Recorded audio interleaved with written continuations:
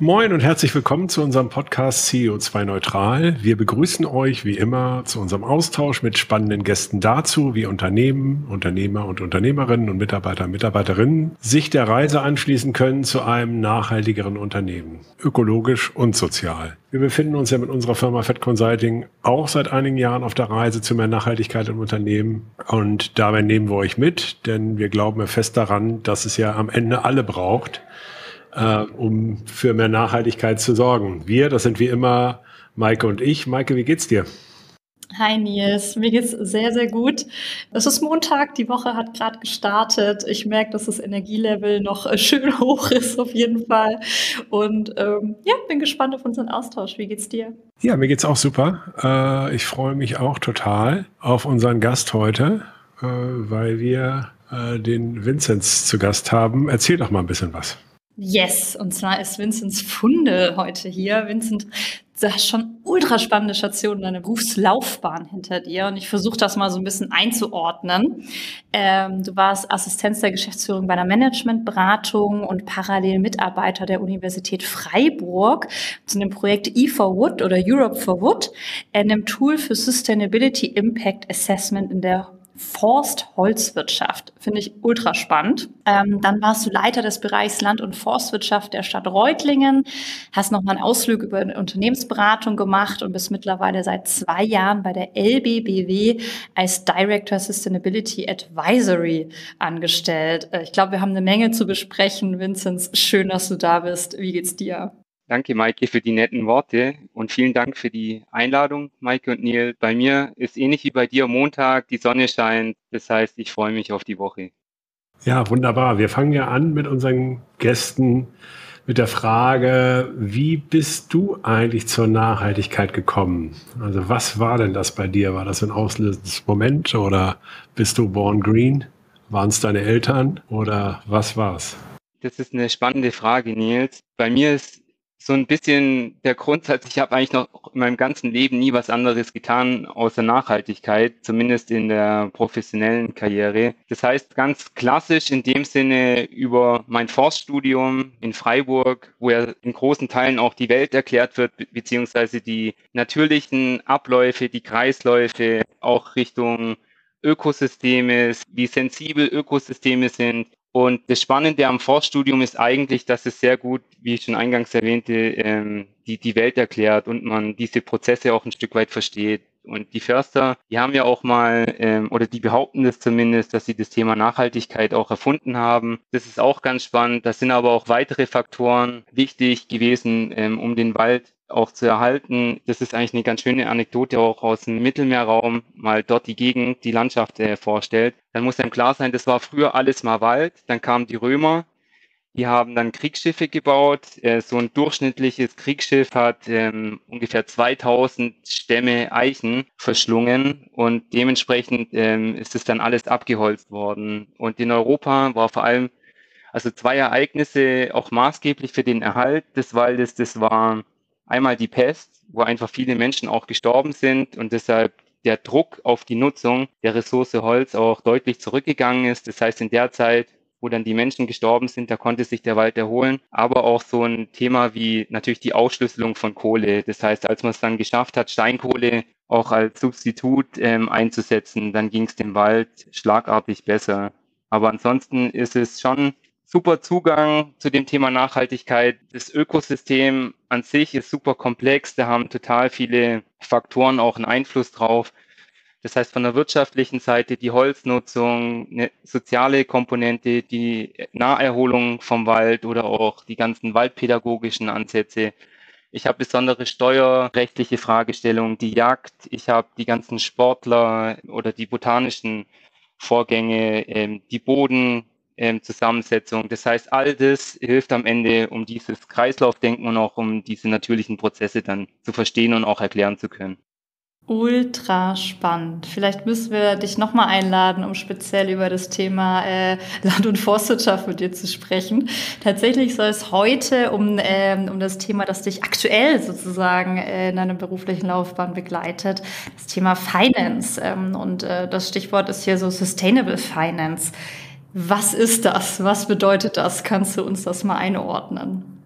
Genau, also ich verstehe darunter letztendlich so eine Fortführung von der Sustainability Story, wie wir immer sagen. Das heißt, jedes Unternehmen hat irgendwie eine, eine Credit Story. Das heißt auch diese Bewertung von den ganzen Finanzkennzahlen. Und wir arbeiten eigentlich an der Sustainability Story. Das heißt, dieser Transfer von der Nachhaltigkeitsstrategie über die Operationalisierung von Nachhaltigkeit in dem funktionalen Management. Das muss ja dann alles mit Zielen auch umgesetzt werden, die strategischen Komponenten. Um die Ziele zu erreichen, dafür braucht man Maßnahmen. Das heißt, die Maßnahmen müssen auf die Ziele einzahlen und die Wirksamkeit der Maßnahmen auf die Zielerreichung wird über KPIs gesteuert. Das ist dann erstmal so dieses funktionale Management. Und das wollen wir in dem roten Faden dann weiterführen in Richtung Finanzierungsstruktur, das heißt Nachhaltigkeit als Komponente in der Finanzierung. Und dann gibt es verschiedene Instrumente, die sich dafür eignen, um Nachhaltigkeit in die Finanzierung zu, zu integrieren. Und das Ganze läuft dann unter diesem Deckmantel äh, Sustainable Finance. Uns ist da extrem wichtig, dass eine einzelne Finanzierung, auch wenn die dann nachhaltig ist, kein Unternehmen am Ende grün macht oder nachhaltig. Das heißt, wir schauen da sehr ganzheitlich drauf, wollen immer das ganze Unternehmen im Blick haben, um dann eben auch zu sagen, dieses Grundgerüst an strategischem Setting und Operationalisierung trägt eben dann auch dazu bei, dass diese ganzheitliche Fortführung in der Finanzierung dann auch möglich ist. Wie kann ich mir denn das vorstellen? Du machst das jetzt ja bei der LBBW, das ist ja eine Landesbank äh, in Baden-Württemberg. Und äh, wenn du da jetzt um die Ecke kommst und sagst Sustainable Finance, äh, wie bist du denn da aufgehängt? Oder ist das jetzt irgendwie ein Teilbereich oder ist das eine grundsätzlich größere Initiative? Äh, wie läuft denn das in so einer Bank? Die ist ja eher, also ich sag mal so, wenn man mal so zehn Jahre zurückdenkt, war das ja noch nicht das Megathema wahrscheinlich. Genau, also wir haben selber im Haus eine relativ lange Historie mit dem Thema Nachhaltigkeit. Ich glaube, der erste Bericht, den die Bank damals noch zu EMAS-Zeiten auch veröffentlicht hat, das geht fast zurück bis 1992. Und genau, wir sind eine Einheit innerhalb von Corporate Finance. Das heißt, der Teil, der eigentlich dann Richtung Wirtschaft, auch die Finanzierungen betreut. Ähm, ich habe selber keinerlei interne Funktion in der Bank. Das heißt, ich bin weder im eigenen Sustainability Management, was es natürlich auch gibt, oder in der Kreditvergabe, Risikomanagement oder in den Bereichen, die das Ganze strategisch für die Bank aufsetzen, sondern wirklich die Schnittstelle zwischen Finanzsektor, das heißt der Bank zur Wirtschaft. Und unsere Spielwiese sind dementsprechend auch die Unternehmen. Das heißt, wir helfen den Unternehmen in dieser Auseinandersetzung mit dem Thema Nachhaltigkeit und Kapitalmarkt und unterstützen da vor allem auch gleich zu Beginn der Wertschöpfungskette vom strategischen Ansatz, von den ersten Überlegungen, was ist Nachhaltigkeit, was bedeutet es für meine Organisation und wie kriege ich das Ganze dann eben auch überführt in diese strategische, operationelle äh, Schiene, um am Ende dann irgendwann Sustainable Finance ready zu sein.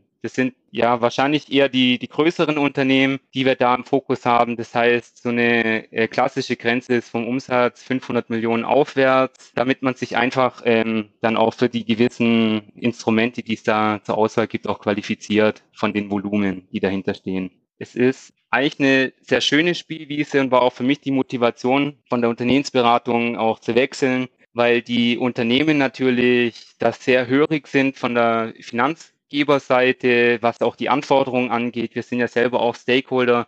Okay, ich verlangsame noch mal ganz kurz, äh, einfach nur noch mal, ob ich es richtig verstanden habe. Also Sustainable Finance, ähm, also eure Dienstleistung oder speziell deine Dienstleistung ist, wenn ich jetzt als größeres Unternehmen, sagen wir mal mit 750 Millionen Euro Umsatz, äh, mich auf die Reise begebe mit dir äh, und dort halt dann eben entsprechend beraten, auditieren wahrscheinlich lasse und dann eben ein entsprechendes Label bekomme. Also deute ich es jetzt mal, habe ich halt bessere Chancen auf dem Kreditmarkt oder krieg eine Förderung oder krieg eine Förderung der LBBW oder was äh, oder krieg halt günstiger Kredite oder was habe ich denn davon? Genau, das heißt, ähm, also wir selber stellen keine Zertifikate oder irgendwelche Labels aus, sondern die Threshold, die man eigentlich nehmen muss am Kapitalmarkt, das ist das sogenannte Greenwashing. Das heißt, da möchte ja kein Unternehmen und auch keine Bank am Ende drinnen landen. Das heißt, wir müssen einfach von der Ambition her sicherstellen, dass dieser rote Faden eben von der Strategie über die Operationalisierung von Sustainability Management in einer Ausreifung vorliegt, dass du das Ganze dann in Richtung Sustainable Finance dann weiterverwerten kannst. Das heißt einfach einen gewissen Reifegrad von den Unternehmen. Und am Ende ist es schon so, dass sich das natürlich auf die Marge bei den äh, Krediten dann auch auswirkt. Das heißt, die Unternehmen, die in der Lage sind, sich dort auch an ihrer Sustainability Performance messen zu lassen, die haben perspektivisch auch dann deutlich attraktivere äh, Konditionen am Markt und natürlich auch von den Investorenkreisen. Das ist dann auch ganz wichtig, dass dann einfach der Investorenkreis auch verbreitert wird. Das heißt, viele Unternehmen, die wären bei klassischen Finanzierungen, die nicht an Nachhaltigkeitskomponenten geknüpft sind oder als grüne Finanzierung dann laufen, ähm, an den Unternehmen gar nicht interessiert und qualifizieren sich dann aber durch diese nachhaltige Finanzierungsstruktur dann eben auch für so einen potenziellen erweiterten Investorenmarkt. Okay, also das bedeutet auch zum Beispiel, also auch die, die Landesbank, also auch die LBBW hat ja wahrscheinlich ein Interesse, immer mehr äh, ihrer Investitionen tatsächlich im Sustainable-Umfeld äh, zu machen. Und deswegen haben die halt eben auch ein Interesse daran, dort auch einfach Know-how aufzubauen und dort halt eben entsprechende Unternehmen zu beraten? Äh, oder ist es? Genau, also es gibt einen Teil der Landesbank, der sich auch mit eigenen Investitionen auseinandersetzt. Das ist aber von mir erstmal relativ weit weg. Das heißt, unsere Motivation ist eigentlich die ähm, Unterstützung in der Transformation der Unternehmen. Das heißt, wir wollen sicherstellen, dass die Unternehmen da in Richtung Transformationsfähigkeit oder auch Zukunftsfähigkeit sich weiterentwickeln. Das sind ja auch alles unsere Kunden, die äh, mit ihren Geschäftsmodellen eben große Beiträge auch zu all den Herausforderungen, äh, vor denen wir stehen, da auch leisten sollen.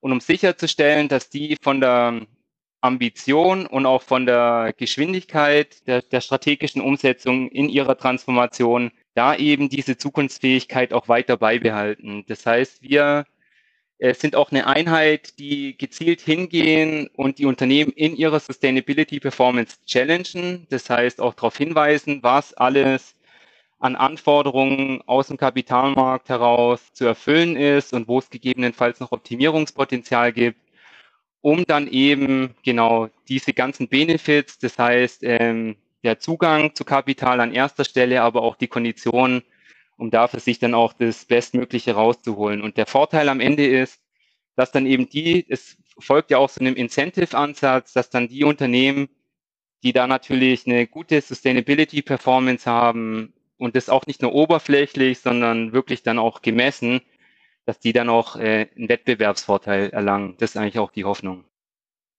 Super spannend.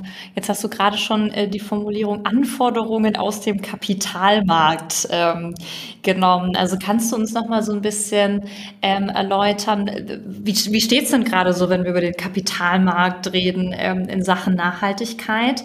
Und ähm, wie schätzt du den Hebel ein, also der wirklich äh, sich auf die Unternehmen eben auswirken kann, wenn man eben auch den Kapitalmarkt als Steuerungsinstrument eventuell auch wirklich nutzt zu dem Thema Nachhaltigkeit?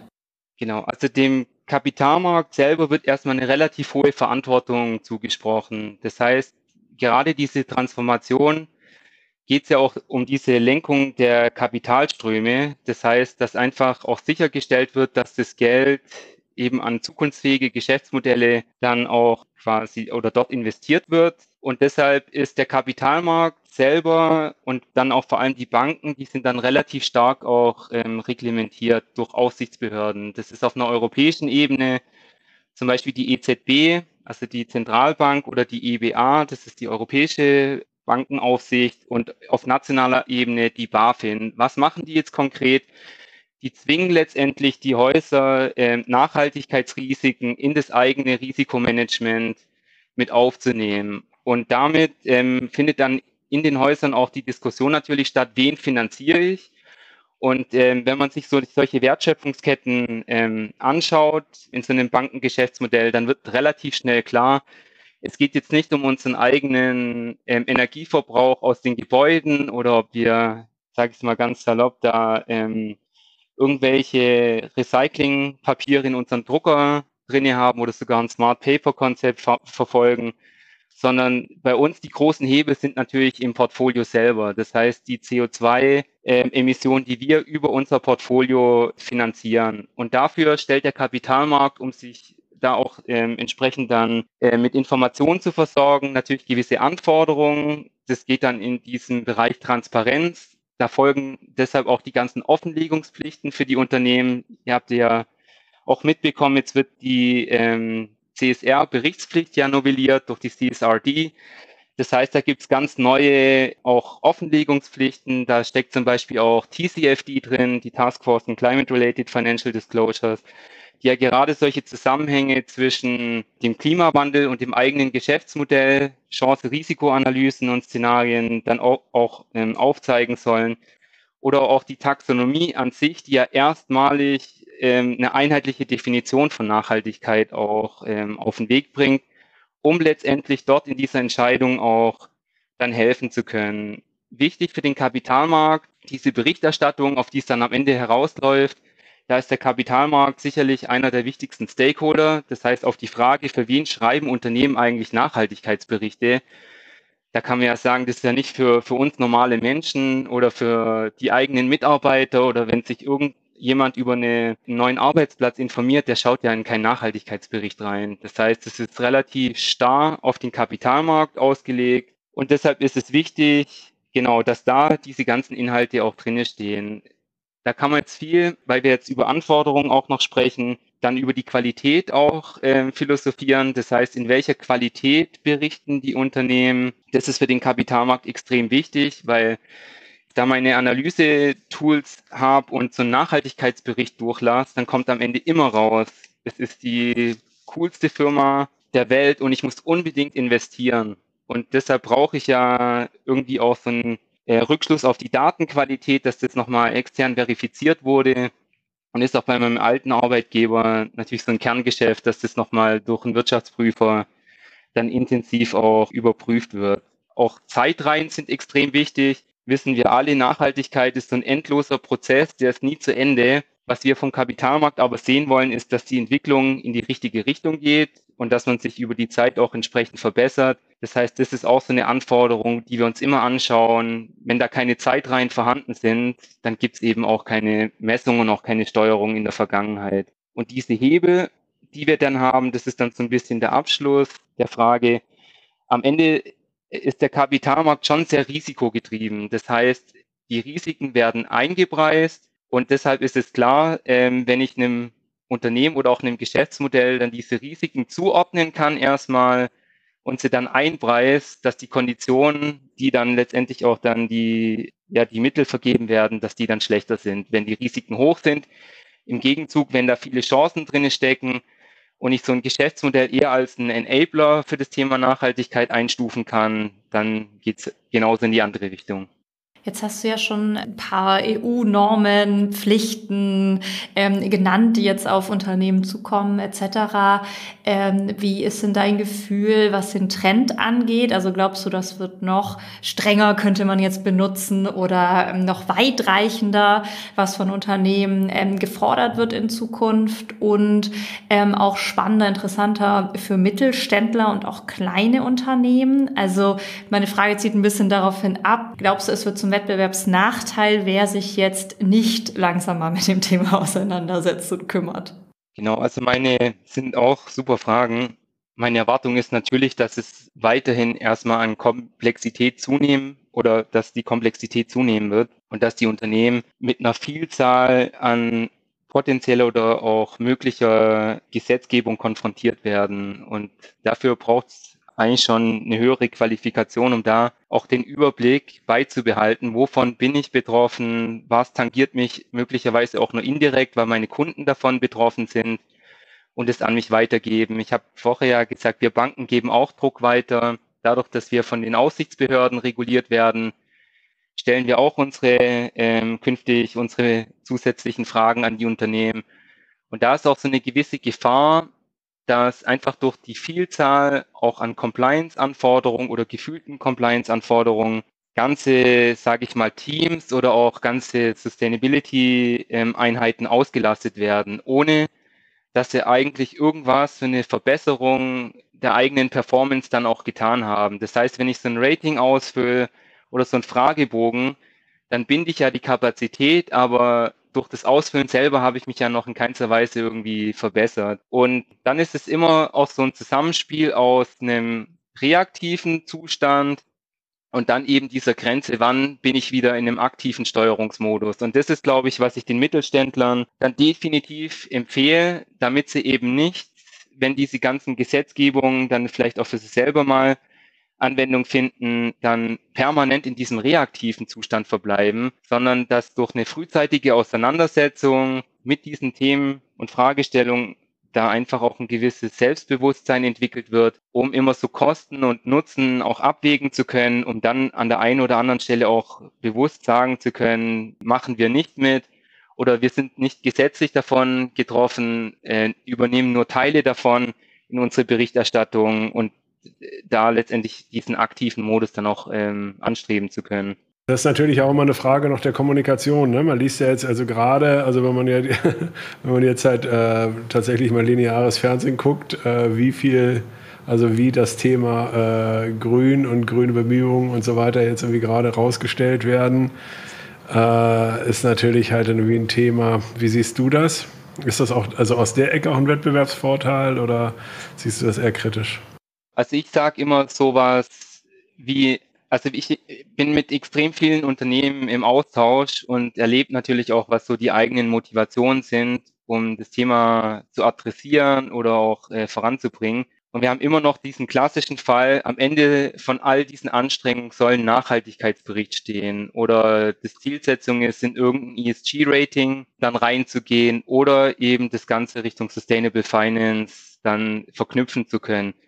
Und da sagen wir immer, das ist eigentlich ein Ergebnis, also eine Art Nebenprodukt, sollte aber nicht die zentrale Zielsetzung sein, sondern das Ganze eher als einen Prozess zu verstehen.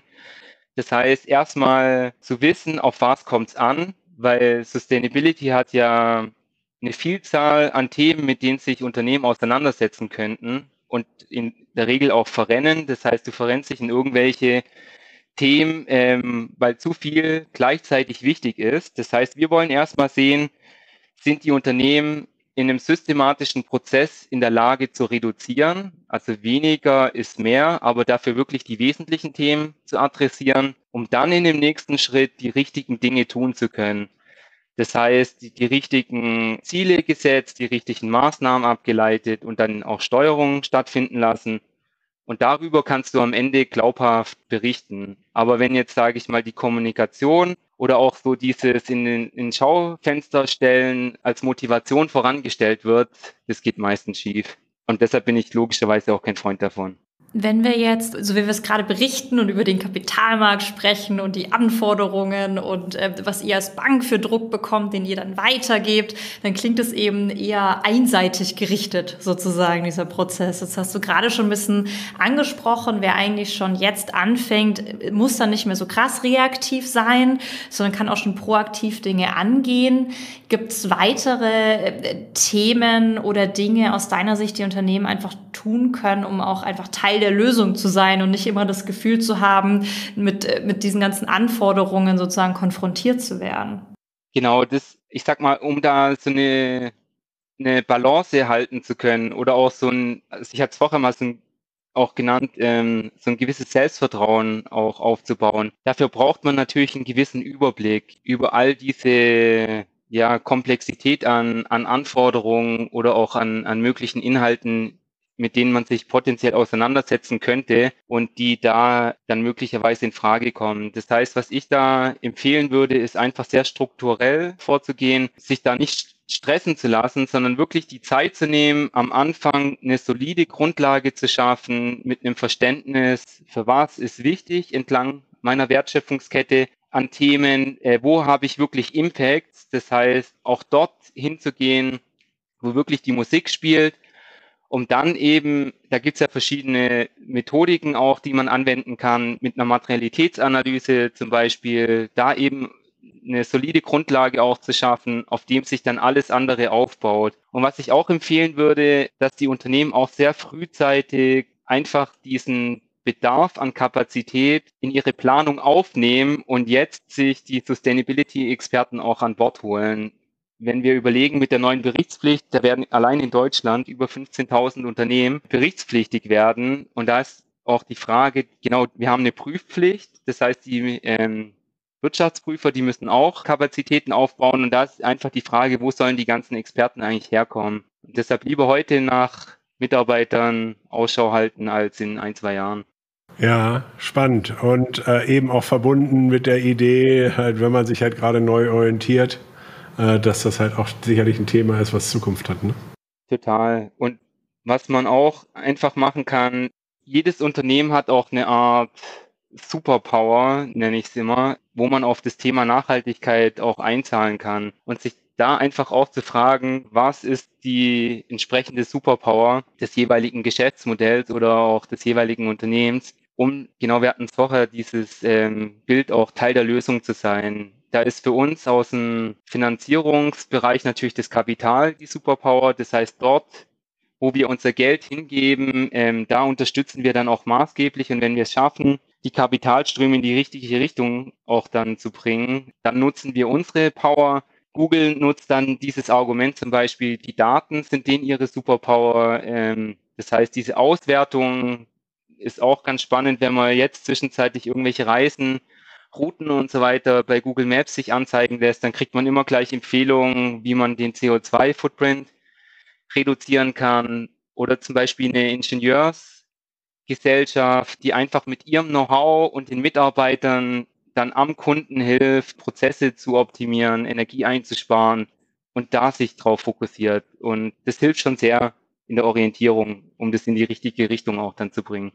Echt spannend. Also äh, gerade diese Superpower-Beispiele äh, finde ich halt dann irgendwie äh, total angenehm, ja. Klar, also wenn man natürlich jetzt irgendwie guckt, da bieten sich ja auch gerade für die Tech-Konzerne äh, natürlich auch nochmal neue Chancen. Ne? Also jetzt halt, es werden auch ganz viele, ja, es werden Tools benötigt, um die ganzen Sachen halt überhaupt sauber messen und reporten zu können. Ähm, wie ist denn das eigentlich, äh, wenn man jetzt mal guckt, es gibt ja so, ne, also wenn man jetzt die Fridays for Future Bewegung sich anschaut, da hat der Luisa Neubauer auch so relativ frühzeitig ja schon immer äh, darauf hingewiesen, über die Kraft, auch die Kraft des Kapitals und äh, der Versicherungen und äh, aber auch der Banken. Äh, siehst du euch schon in so einer Art Game Changer Rolle dort? Also glaubst du, das Ding kriegt jetzt da nochmal Traktion? Ich meine, Larry Fink jetzt äh, mit seiner Aussage da mal äh, Decarbonize or Die. Äh, glaubst du, dass das eigentlich das Ding ist, was halt wirklich den, den Unterschied macht?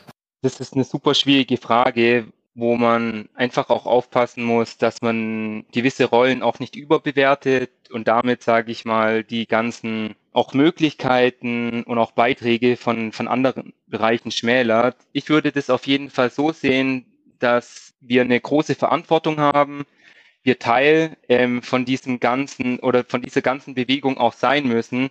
Am Ende ziehen wir aber hoffentlich alle in die gleiche Richtung. Das heißt, das wäre mir auch wichtig ähm, und ist auch eine Botschaft, die ich mir eigentlich vorgenommen hatte, heute auch mitzugeben, dieses sich zusammenfinden in strategischen Partnerschaften, in unterschiedlichen Konstellationen, auch in diesem Beleuchten von unterschiedlichen Perspektiven, wo ich jetzt seit zwei Jahren dann intensiv diesen Kapitalmarktblick mitbringen kann, dass wir da schon die Möglichkeit auch haben, gemeinsam an diesen großen Dingen zu arbeiten. Und es wird auch nur mit gemeinsamer Anstrengung, das heißt auch privat, Wirtschaft, Politik hoffentlich auch vereint, dann vorangehen. Und natürlich haben wir von der Kapitalmarktseite gewisse Vorteile, weil wir zum Beispiel auch diese Hörigkeit haben von den Unternehmen. Wenn es einfach ums Geld geht, dann hören die auch zu, was wir zu sagen haben. Wir haben diesen äh, engen Kontakt zum CFO, der in meinen Augen auch prädestiniert ist, äh, um das Thema Nachhaltigkeit zu ownen in der Organisation, weil er das gesamte Reporting unter sich hat. Er ist Herr übers Controlling, das heißt die ganze Steuerung, die Auswertung von Zahlen.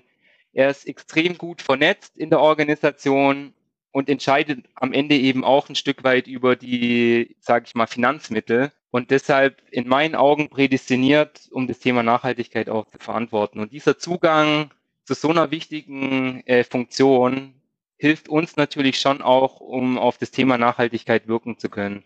Ja, absolut. Ich musste gerade, als du so ähm, das ausgeführt hast, ein bisschen an, an Tanja Reilly denken von EcoVadis, die, äh, über die wir ja auch dich kennengelernt haben tatsächlich, die uns äh, vernetzt hat, die, die das ja eben auch sagt sozusagen, also die Power am Ende über den CFO, der dann die Einkaufsprozesse mitgestalten kann etc. Da ist so viel Kraft drin für Unternehmen. Ähm, jetzt hast du gerade schon ein bisschen, äh, ja schon angedeutet, ist meine nächste Frage. Also natürlich hören die Unternehmen auf euch, weil da eben äh, tatsächlich bares Geld äh, dann hintersteckt.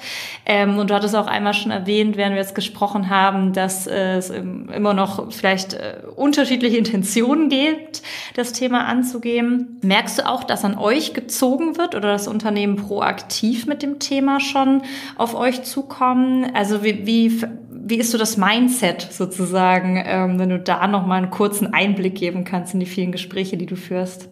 Genau, also wir treffen da auch ganz unterschiedliche Settings vor. Ähm, das hatte, genau Nils, du hattest das Woche auch ja schon angedeutet, dass es natürlich gewisse Unternehmen gibt, die durch zum Beispiel eine Berichtspflicht oder eine Kapitalmarktorientierung sich da schon viel frühzeitiger damit auseinandersetzen mussten und wir jetzt dann teilweise Unternehmen haben, die aufgrund der Größe in eine Berichtspflicht rutschen oder aus irgendwelchen anderen strategischen Themen oder Motivationen äh, das Thema adressieren. Das heißt, wir sind erstmal daran interessiert, in diesen Austausch und auch in diesen Dialog zu gehen, um gemeinsam zu besprechen in Richtung Transformation und auch Transformationsfähigkeit. Sind da die Weichen gestellt, damit eben in der Zukunft diese Einschätzung Teil der Lösung auch stattfinden kann?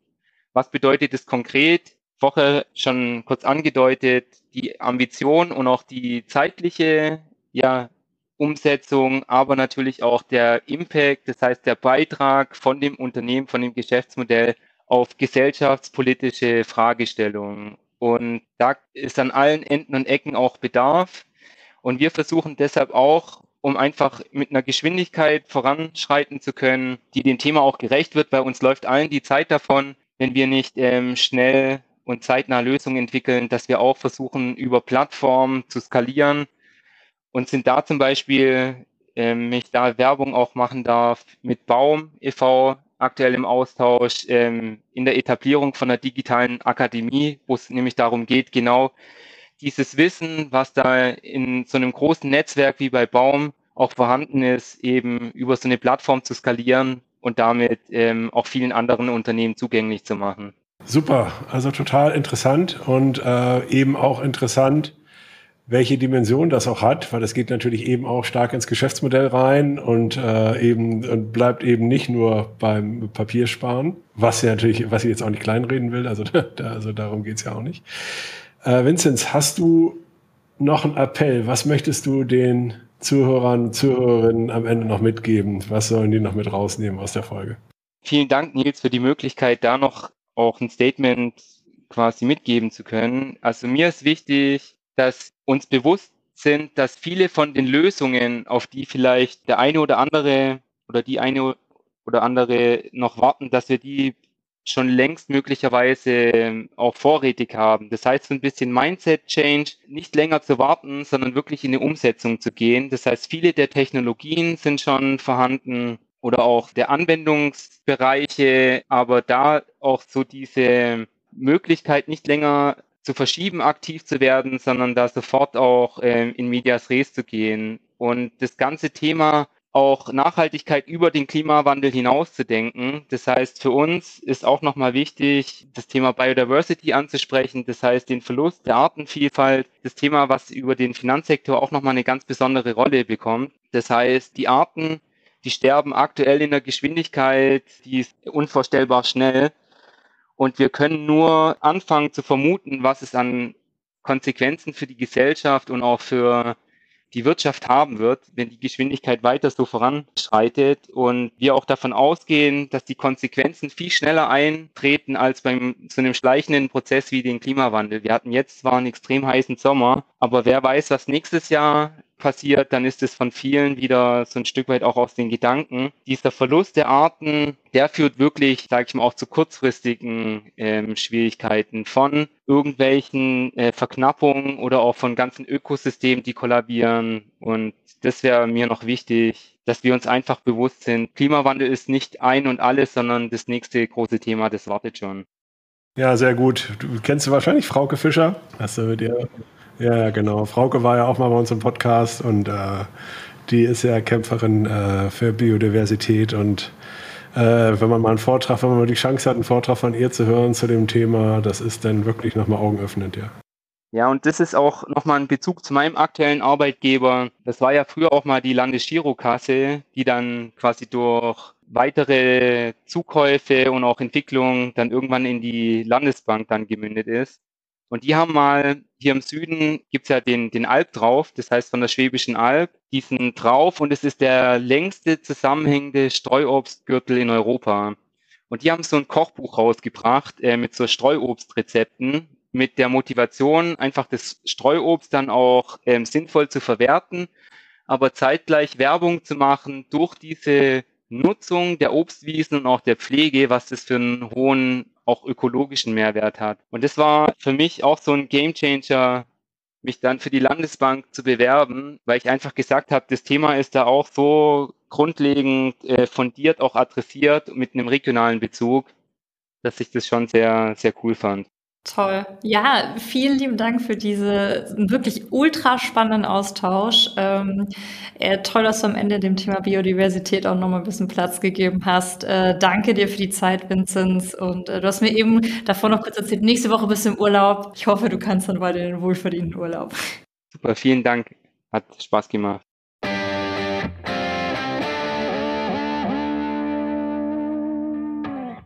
Ja, Nils, wir haben mit Vinzenz gesprochen. Ich bin immer noch total platt. Hast ein spannendes Gespräch. Äh, was hast du denn so mitgenommen? Also ich finde es schon wirklich interessant, ähm, die Rolle der Banken sich halt irgendwie auch in diesem ganzen Thema halt irgendwie nochmal ein bisschen genauer vor Augen zu führen. Äh, gleichzeitig aber auch nochmal sich halt bewusst zu machen, dass es die Banken natürlich auch alleine nicht richten können, aber sicherlich halt auf alle Fälle schon ein wesentlicher Player halt dann irgendwie auch in diesem ganzen Thema sind. Und es da natürlich eben auch ums große Rad geht und das natürlich eben auch ja über den Hebel zum CFO halt dann eben natürlich auch in die Unternehmensspitze kommt. Was hast du denn mitgenommen? Ich finde, ist einfach nochmal so spannend, also das nochmal jetzt auch direkt gespiegelt zu bekommen. Ey, ähm, das ist der Anfang aktuell sozusagen, was auch Anforderungen angeht etc. Ähm, und auch hier nochmal äh, einfach zu sagen, es, es, lohnt sich wirklich, sich äh, rechtzeitig mit dem Thema auseinanderzusetzen, um dann, das war so ein schönes Bild, das er aufgemacht hat, ne, nicht nur reaktiv handeln zu müssen, sondern einfach auch vorbereitet zu sein und ich fand das irgendwie auch ganz charmant, ähm, wie die LBBW das jetzt äh, für sich auch nochmal übersetzt hat im Sinne von, wir begleiten aber unsere Kunden auch in dieser Transformation. Also wir geben nicht nur diesen Druck einfach weiter und sagen, mach mal, sondern wir versuchen da irgendwie auch, auch nah an der Seite zu stehen, was ich irgendwie auch total smart finde. Und ähm, ja, wieder eigentlich stützt, was du auch schon gesagt hast, wir müssen alle ran und alle zusammenarbeiten ja, hoch, hochinteressant und ich muss, zwischendurch muss ich mal schmunzeln, weil wir gefühlt über den Kapitalmarkt wie so eine Person gesprochen haben, irgendwie so. Ähm, aber ja, es ist äh, wichtig, wichtiger Teil ähm, äh, ja, des Wirtschaftssystems, in dem wir halt nun mal agieren und schon ein gutes Zeichen, dass es hier auch vorangeht. Ja, und dann auch sein Change, ne? Eben vom First Word halt irgendwie mhm. über die mhm. Unternehmensberatung und dann halt irgendwie tatsächlich zu einer Bank. Und das ist irgendwie schon äh, auch ein toller, äh, auch ein toller Weg und äh, toll, dass es eben auch so Leute mit dieser Passion äh, überall gibt. Ja. Absolut. Hat wieder sehr, sehr viel Spaß gemacht, auf jeden Fall. Mal schauen, wie es weitergeht, ne? Ja. Bis bald, ja. Ciao. Bis bald, Nils. Ciao.